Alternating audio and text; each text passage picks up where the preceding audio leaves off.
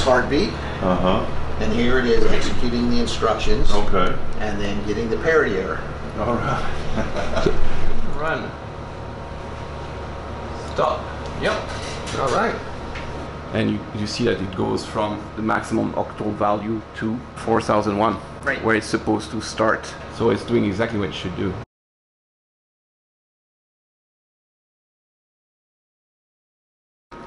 You think it has a broken wire inside. This voltage pin has this inhibit line, but this one is not beeping. It's completely open, basically. Right. Um, this was used for ground testing, so instead of core rope, they would use these core rope simulators that let you feed in your test program from an external computer. We don't have any documentation for this, so I'm trying to figure it out.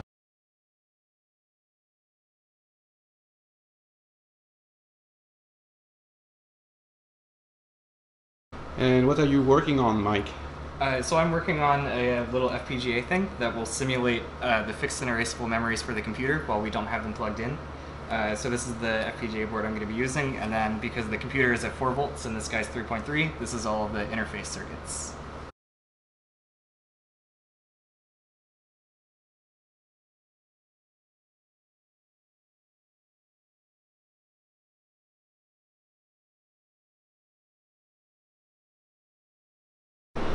And we've already tried it without being hooked to the AGC and it's generating the memory bursts. It's three independent SPI style chains, so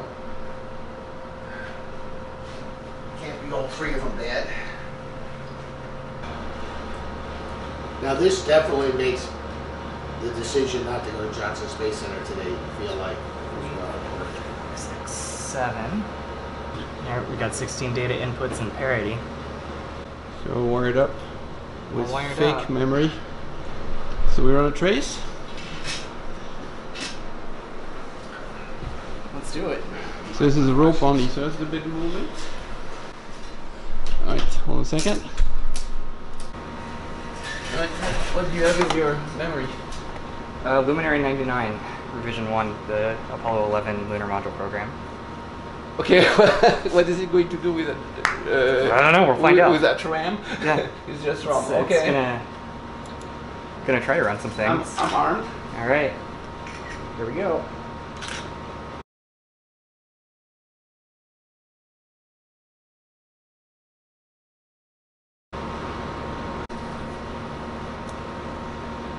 Um, okay, I have MDT. What about MDT? So it does all the counters. No, it does the same thing. Oh, yes. It still reads zero zero as four thousand five.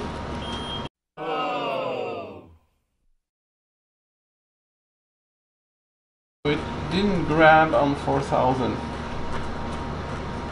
six. So let's continue check address wires. Yep. Uh, So an SO9. So one, two, three, four. Yep, you're off by one. Okay, let's try again. Yeah. Okay, run. Okay. Uh, Uh, I'm stuck at one. Not doing very well here. Five. Yeah, so this one is a flatliner. it never went anywhere.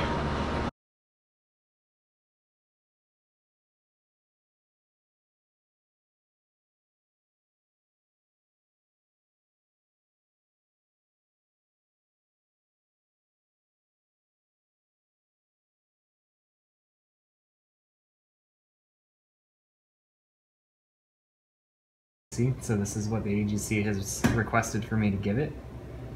So our first instruction is a four, uh, which I can look at the listing for the program we're running. Uh, that's an inhint, uh, so inhibit interrupts.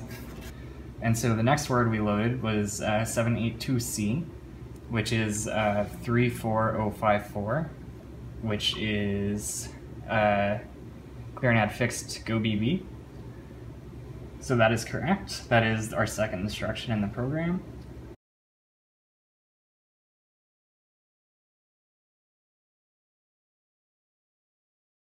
So this is the final version of our memory simulator. Uh, we've added in all of the erasable addressing lines and the uh, data inputs from the G register to the erasable memory.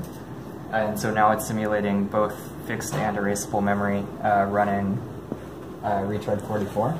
Do you want to point out the new connectors? Yeah, so it's all of these guys here, and then a couple other various wires around the backplane. Let's and on.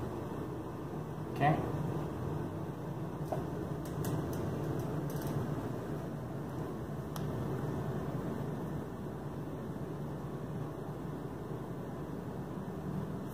There it is. and so here's the program we executed. So every every vertical line here is a word that was read out of either erasable or fixed memory. Um, and so you know it, it generated, or it, it went through a whole bunch of instructions, uh, mostly without errors. Let me zoom in a little closer.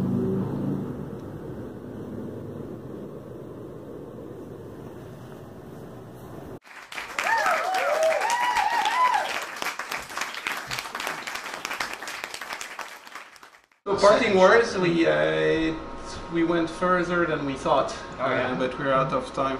We got powered up. We got through a few instructions at work. Mhm. Uh, we checked interrupt. We checked increments, and then we got into the memory. So we have the big memory failure. Yeah, basically we just have one failure, but it's a hard to fix failure. Right. Well, we'll work Right. on it. And, and and have a nice owner that lets us that lets us touch it. Yes, thank Right. you, Jimmie. No, Thank so you. that's over there. Mr. Owner should be thanked for Per- Preserving. I'm very happy. well preserving it and letting a, a band of crazy guys touch it and, and, and try to power it up. So thank you, Jimmie. I'm just so happy, Right, and then we have to so grateful. figure out what's the next step. Uh, if we need to move here for another bunch of time, if we need to move some piece of the machines to the lab, or I'll let you figure that one up. But right now, There you go. Yeah. got to go, got to get the plane.